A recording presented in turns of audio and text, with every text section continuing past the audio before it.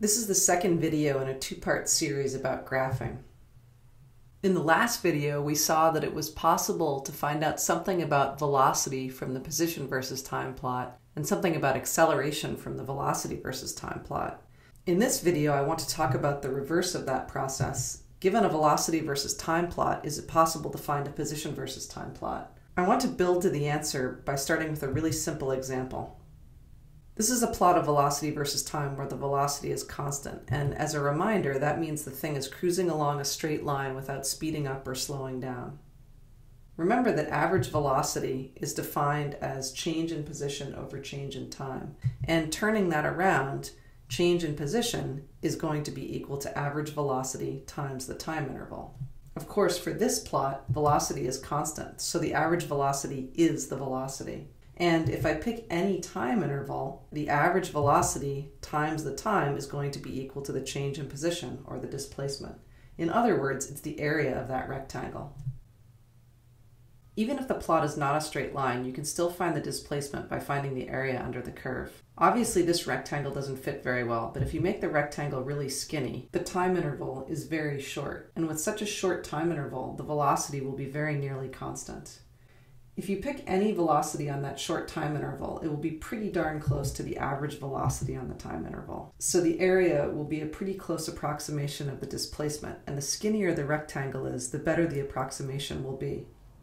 For a longer time interval, just put together a bunch of skinny rectangles. The sum of the areas of the rectangles will be equal to the total displacement over the time interval. So even if the plot of velocity versus time is curvy, the area under the curve for a given time interval is equal to its displacement.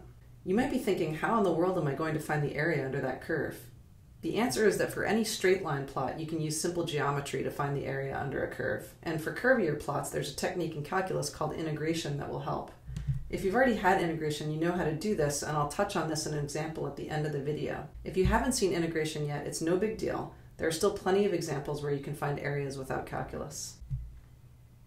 We can make the very same argument for finding change in velocity from an acceleration versus time plot.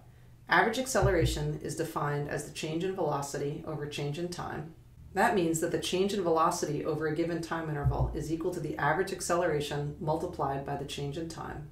Even with a curvy acceleration versus time plot, it's reasonable to approximate change in velocity over a short time interval with the area of a rectangle and over a longer time interval, adding the areas of a series of rectangles will give the change in velocity. In other words, the area under the acceleration versus time plot is the change in velocity over a given time interval.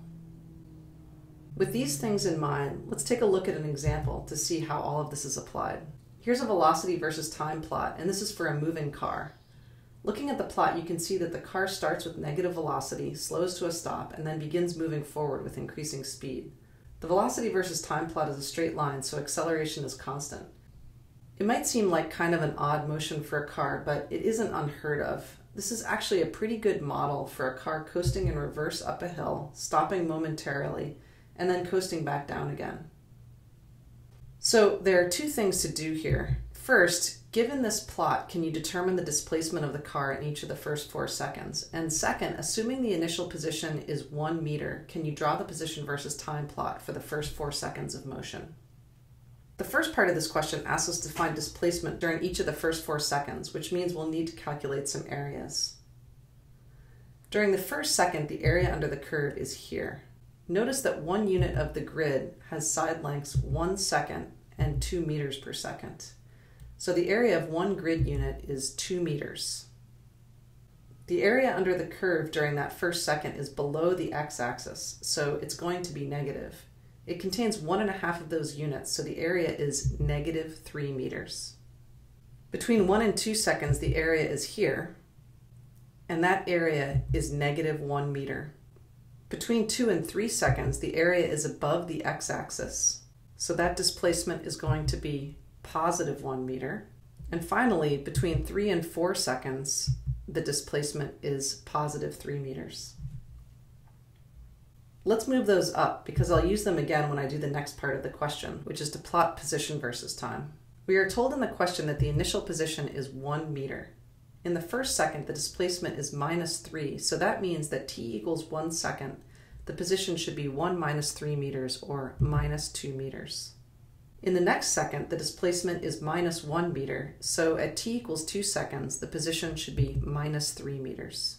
Then, over the next second, the displacement is plus 1 meter, which brings the object back to position minus 2 meters. And in the last second, the displacement is plus 3 meters, which brings the object back to position plus 1 meter.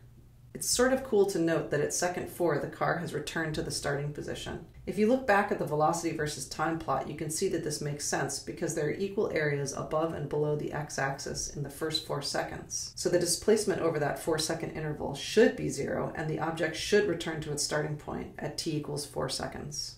You could subdivide the intervals to add more points to the plot if you wanted to, and it would soon become clear that the shape of this plot is a parabola. The last thing I want to do with this example is to show you explicitly how this problem can be done with integration. If you haven't gotten to integration yet, you should feel free to skip this part of the movie and come back to it later. Let's take another look at the velocity versus time plot. It has a slope of 2 and a y-intercept of negative 4, so the equation for this line should be v of t is equal to 2t minus 4. The displacement between any two times can be found by finding the definite integral. For example, between 2 and 3 seconds, delta x is the integral from 2 to 3 of the quantity 2t minus 4 dt. This is equal to the quantity t squared minus 4t evaluated from 2 to 3 which is equal to 9 minus 12 minus the quantity 4 minus 8, which is equal to 1 meter. And it better be, because the area under the curve is definitely 1 meter on that interval. If you're looking for a more general equation for position as a function of time, you need an indefinite integral. So x of t is the integral of 2t minus 4 dt, which is t squared minus 4t plus a constant. Don't forget the constant. When t is equal to 0, x is equal to 1 meter. That was given to us in the problem. So c is 1, and x of t is t squared minus 4t plus 1. This is exactly the parabola we found on the last slide, as it should be. Once you have a chance to practice these concepts, you can check out the movie on the constant acceleration equations. In that movie, I'll derive a set of equations that can be used for a very specific case where an object has constant acceleration. Because there are so many cases where objects have constant acceleration, these equations turn out to be super useful.